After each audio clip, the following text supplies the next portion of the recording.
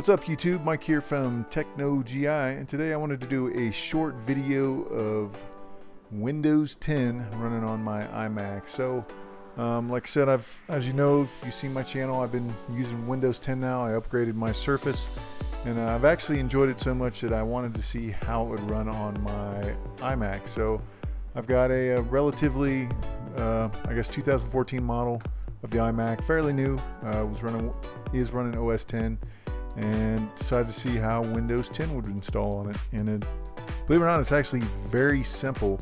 Um, you use Boot Camp, which is actually built in to the Apple OS. So it builds in there where you can actually dual boot and run uh, Windows if you so desire. So what I did uh, using Boot Camp, I basically dedicated half of my hard drive to uh, Windows 10, the other half to OS because I still like to use the Mac as a Mac, but I also like Windows. So I wanted to see how it would run, and as you can see, I mean, it's it's on there, and it actually runs really well. I mean, it's probably hard to see um, with the camera, but like I said, it's got my start menu.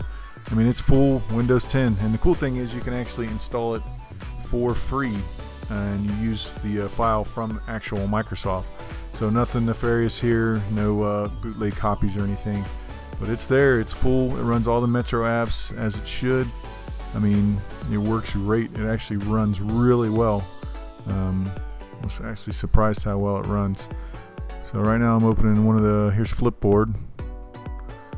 And uh, like I said, you may, you can kind of see it, um, but they're all on there.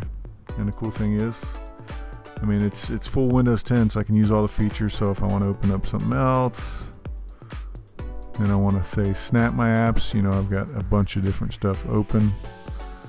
So it's pretty darn cool, actually. Highly recommend it. But um, I mean, yeah, it's Windows 10 and it's on the Mac. It runs great, no issues whatsoever. So again, it's totally free. So if you have a Mac and uh, you wanted to try Windows 10, like I said, it's free. Um, there's a bunch of videos now on YouTube on how to do it.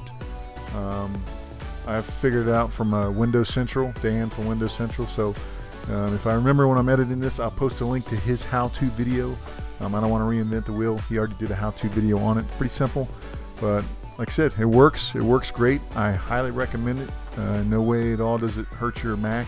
You can go back and forth from Windows to OS. Like I said, it's built into OS 10 uh, via Boot Camp. So, anyways, if you guys have any uh, questions on it or want to know, you know, how I like it or if you should do it, uh, shoot me a uh, comment down below.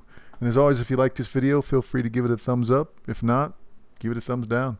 And uh, as always, if you've not subscribed, you know, hit that little red button for me. Appreciate it. Anyways, thanks for watching. Later.